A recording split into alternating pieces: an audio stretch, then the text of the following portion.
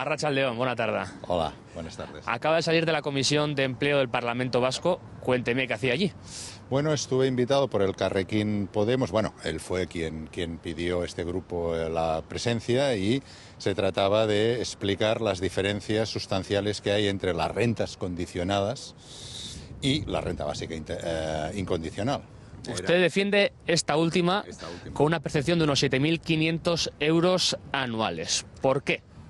Bueno, pues porque se está demostrando desde hace ya mucho tiempo y cada vez más cómo incluso una rentas, una renta condicionada generosa como la que tenéis vosotros tiene muchas limitaciones y defendemos la renta básica incondicional precisamente porque supera bien estas limitaciones. Como está diciendo, nosotros tenemos una eh, RGI, una renta de garantía de ingresos, que usted dice que ha fracasado este sistema. Bueno, más que fracasado, que queda muy mal decir una, una, una, una, palabra tan contundente, digamos que lo que sí ha mostrado es las insuficiencias de esta renta garantía de ingresos, que insisto, es muy generosa comparada con la que hay en otros sitios del Reino de España. Un dato que me ha llamado la atención es que dice que de un 9%, según unas cifras, aún hasta un 50% de este presupuesto se va en costes de gestión de administración. No, no exactamente el presupuesto, esto es diferente, pero digamos, las rentas condicionadas necesitan control.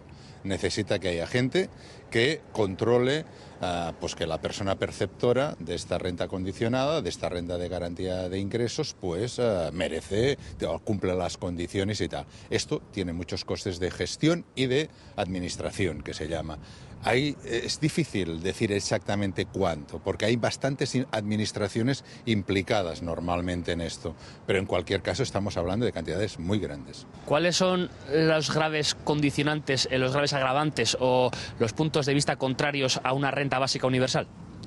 Bueno, sobre la renta básica universal o incondicional, uh, la pega o la o la cosa negativa que tiene, fundamentalmente, fundamentalmente, es lo fácil que es ridiculizarla cuando no se la conoce.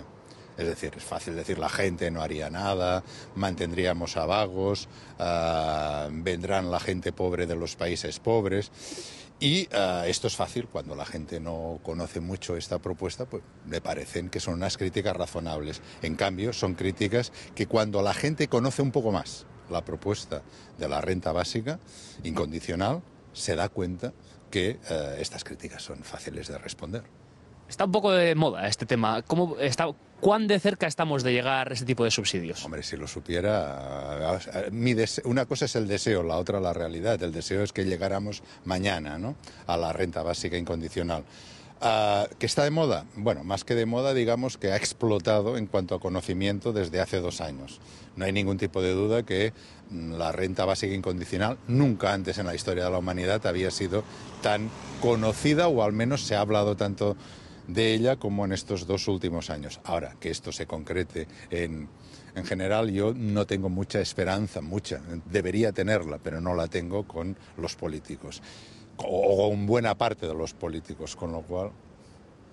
Muchas gracias por estar con nosotros. A vosotros.